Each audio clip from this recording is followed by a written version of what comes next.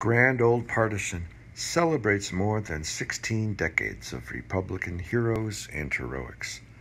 Today I honor Alexander Hamilton Bailey, born in New York, August 14, 1817.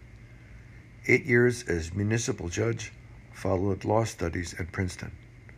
He then served in both houses of the legislature.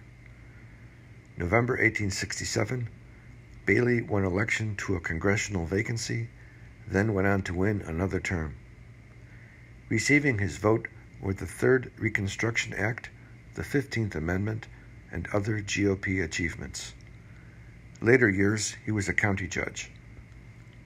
Back to basics for the Republican Party is my civil rights history of the GOP.